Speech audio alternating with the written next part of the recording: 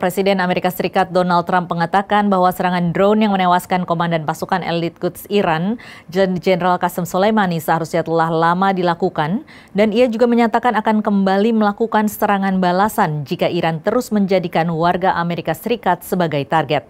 Lewat cuitan Trump menyebutkan Amerika Serikat telah mengidentifikasi 52 target di Iran dan dia mengancam akan melakukan pembalasan yang cepat dan keras jika Iran menyerang warga maupun aset Amerika. Berikut laporan tim VOA dari Washington DC.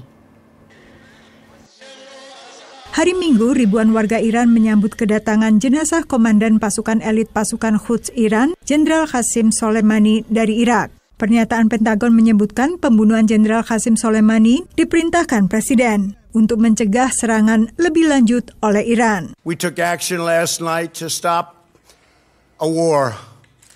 We did not take action to start a war. Sebagai arsitek perluasan pengaruh Iran ke Irak, Suria, wilayah Palestina, Libanon, dan Yaman, Jenderal Soleimani menurut analis memang telah lama diincar Amerika Serikat. It's a very bold move by President Trump. Qasem Soleimani has been responsible for the deaths of hundreds of American troops and other Western troops, including British troops. Uh, and he's been the mastermind, really, of pretty every nasty plan Iran has had in the region for, for decades. But it's not clear to me that President Trump has thought through all the consequences of this action. Trump likes taking these bold tactical military moves because he feels it makes him look macho. It's something Obama wouldn't have done. He thinks it'll help with his domestic constituency. I killed the head of ISIL, and now I've killed the Iranian mastermind. Hari Sabtu, Gedung Putih secara formal memberitahu Kongres mengenai serangan drone tersebut. Sesuai Undang-Undang Kekuatan Perang Amerika Serikat, pemerintah wajib melaporkan kepada Kongres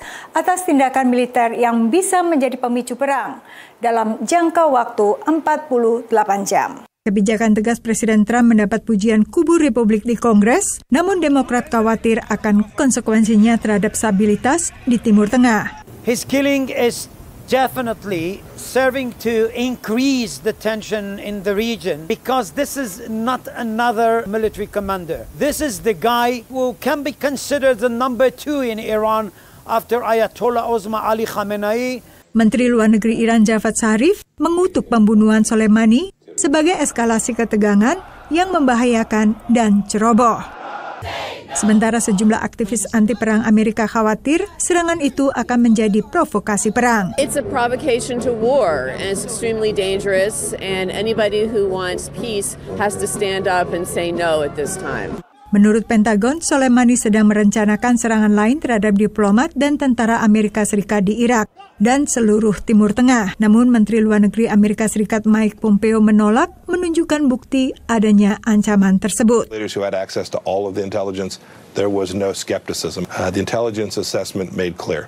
that no action, allowing Soleimani to continue his plotting and his planning, his terror campaign created more risk than taking the action that we took last week. Pembunuhan terhadap Soleimani ini terjadi setelah serangan terhadap kedubes Amerika Serikat di Baghdad yang membuat Amerika mengirimkan sekitar 3.000 pasukan tambahan ke Timur Tengah.